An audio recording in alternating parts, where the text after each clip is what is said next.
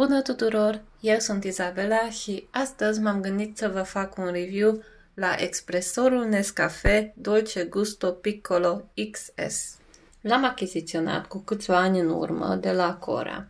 Am încercat aproape fiecare sortiment de capsulă care îi se potrivește. Un punct forte al acestui aparat este că puteți să pregătiți o cafea bună în doar câteva secunde. Vă stă la dispoziție o gamă largă de capsule din care să vă alegeți aroma preferată.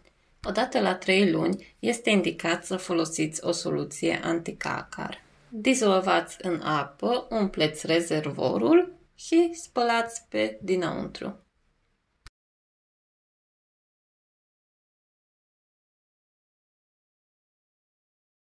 Acum o să vă arăt cum se pornește aparatul.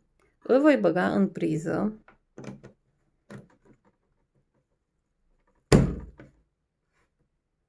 va trebui să se aprindă un beculeț, dar asta numai după ce ridicați capacul și scoateți cutiuța asta.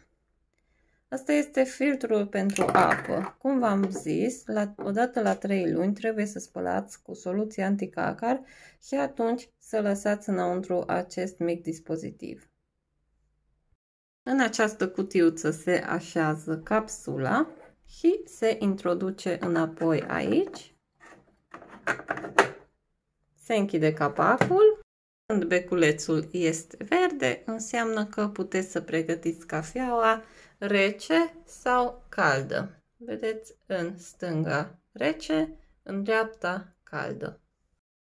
Pe fiecare cutie o să vă apară câți mililitri de apă sunt necesari pentru cafeaua respectivă.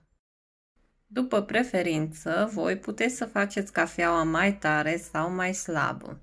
Însă trebuie să aveți grijă pentru că aparatul până ce va avea apă în rezervor nu se va opri.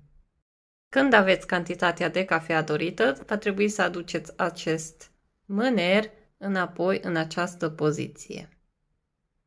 Atunci el se va opri, puteți să scoateți capsula și să faceți următoarea cafea. Dar tot așa va trebui să așteptați cam 30 de secunde și beculețul verde o să apară. În manualul de utilizare vă apare cam tot ce trebuie să știți, cum să curățați, cum să pregătiți cafeaua,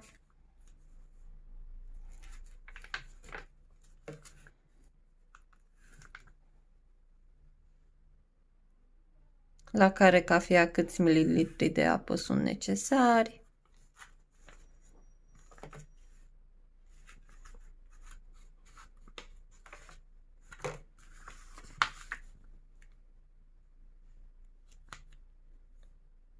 Preferatele mele sunt cafea au lat și latte macchiato.